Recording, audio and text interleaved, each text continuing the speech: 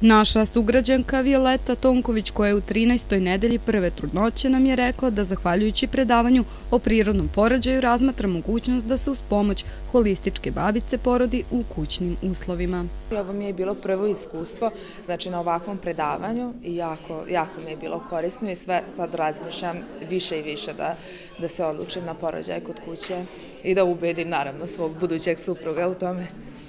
Predavanje je bilo super. Ovaj, e, jako puno toga sam naučila. Prvenstveno ovaj, nisam ni znala da tako postoji kod nas mogućnost u Subotici da se porodi jeli, majka kod kuće i da, je, da to nikakve papirologije ne zahteva i tako dalje sve.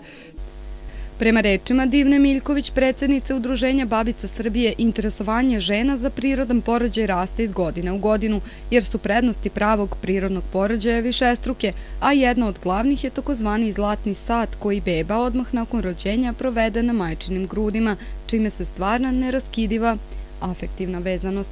Razlika između porođaja u bolnici i kod kuće je u tome što se žena prijatnije i upuštenije osjeća u svom domu i sam tok porođaja je prilagođen prirodnom toku koji je kod svake trudnice drugačiji.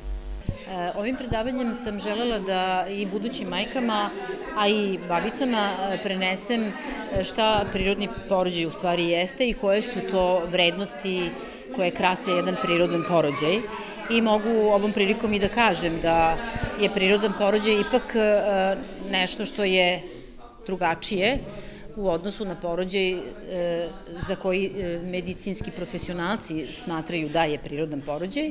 Prosto se dopušta da taj prirodan porođaj se dešava sam od sebe i dopušta se da svaka tam prirodna manifestacija porođaja se događa i da on ide svojim tokom i svojom brzinom onako kako je predviđeno za tu ženu i da se beba nakon porođaja svakako da ostane sa svojom majkom, što je u stvari najveća vrednost prirodnog porođaja, da beba ostane nakon porođaja sa svojom majkom.